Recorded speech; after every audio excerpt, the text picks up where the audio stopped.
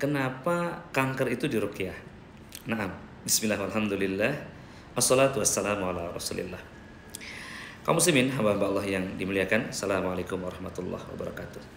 Ada perbedaan mendasar ya antara kanker dan sel kanker. Ya, ketika ada pertanyaan, apa perbedaan antara kanker dan sel kanker? Maka pertama kita harus masuk dulu ke dalam dunia sel. Apa itu sel? Ya, sel adalah struktur terkecil di dalam tubuh kita. Ini adalah gambaran sel sehat. Ya, sel sehat ini kemudian terinfeksi oleh kanker. Jadi ada sel sehat yang terinfeksi dan berubah menjadi kanker. Ya, dua buah ini adalah ilustratornya. Ini sel sehat, ini sel kanker. Ya, sel kanker artinya sel yang sudah terinfeksi oleh kanker. Pertanyaannya, apa itu kanker? Ini sel sehat, ini sel yang terinfeksi oleh kanker. Pertanyaannya, apa itu kanker? Ya, jawabannya kanker adalah mutan. Kanker adalah hal, sesuatu, entitas yang menimbulkan mutasi genetika pada sel sehat dan berubah menjadi sel kanker. Oke, okay. jadi di dalam sel tubuh manusia itu ada kromosom sejumlah 46, ya, ada DNA dan di dalam DNA itu ada informasi genetika. Ruangan informasi genetika itulah yang diakses oleh kanker lalu diacak-acak. Jadi seperti virus yang masuk ke dalam sistem komputasi dan merusak program di dalamnya. Ya, sel tubuh manusia itu dikontrol oleh sebuah kekuatan langit, kekuatan Tuhan atau yang disebut sunatullah. Dia berjalan pada sunatullah. Misalkan sel telur ketika ya ditemui oleh sperma, sel sperma, maka sel sperma itu membuahi sel telur tersebut, maka dia melakukan metaplase, ya, membelah jadi dua jadi 4, jadi 8, jadi 16. Jadilah janin kecil. Nanti terus membesar ya, tumbuh dan setelah 9 bulan dia terlahir dan terus bertumbuh ya dengan kepalanya, telinganya, matanya yang simetrik. Di masa atau fase tertentu dia berhenti bertumbuh. Katakanlah di masa 40 tahun ya sel-sel tubuh sudah berhenti bertumbuh, ada pertumbuhan sel baru di leher. Itulah yang kemudian disebut limfoma kelenjar tiroid, getah bening mungkin di ketiak, tumor payudara, pertumbuhan di rahim di dalam otak yang tidak fitrah atau keluar dari sunatullah. Apa yang menimbulkan itu terjadi? Ya rata-rata ya tertuduhnya adalah si kanker tersebut. Jadi ada sesuatu, sebuah kekuatan, sebuah entitas yang masuk ke dalam sel yang sehat yang seharusnya tidak tumbuh lagi lalu kemudian tumbuh yaitu bermetaplase jadi dua jadi empat jadi delapan dan seterusnya. Teman-teman sekalian kuku saya masih tumbuh ya. Jenggot saya masih tumbuh rambut saya masih tumbuh gigi tidak tumbuh. Jadi nauzubillah ada sebuah ilustrasi ada kanker yang masuk ke sel-sel tulang gigi saya lalu dia tumbuh. Menjadi tumbuh dua tumbuh sihung misalkan. Itulah yang disebut kanker tulang Kanker pada tulang disebut kanker tulang. Kanker pada mata disebut kanker mata. Kanker pada sel otak disebut kanker otak. Kanker di rahim, kanker mulut rahim, di mana saja dia nempel terjadi peristiwa tadi disebutnya adalah mutasi kanker tersebut. Ya, dan unik kanker ini bisa pindah atau yang disebut metastase. Jadi ketika dia ada di payudara lalu diangkat, dia bisa lari ke payudara sebelahnya dan seterusnya. Lalu apa hubungannya dengan setan hadirin? Ya, yang pertama, kaum muslimin, setan adalah sebuah entitas, sebuah energi, sesuatu yang unseen, unknown, tidak terlihat dan bisa masuk ke dalam darah manusia, ke dalam pori-pori yang terbuka, bahkan masuk ke dalam sel yang sehat dan menginfeksinya. Dan kemudian hal ini disebut penyakit genetik. Penyakit genetik adalah bukan hanya kanker, tetapi asma, jantung, hipertensi, diabetes yang diturunkan.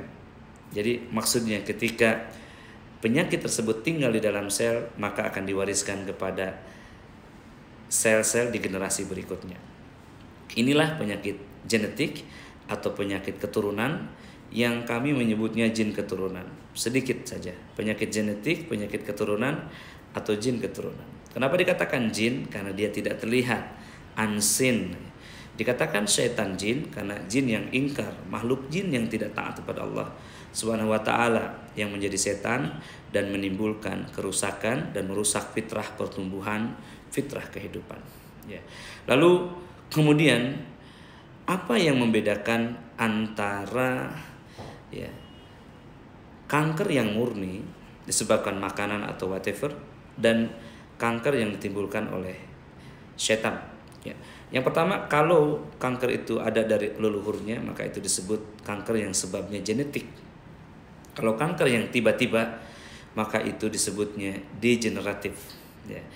Penyakit degeneratif ini adalah pelemahan sistem organ tubuh yang terjadi secara tiba-tiba, tidak diketahui sebabnya. Ya.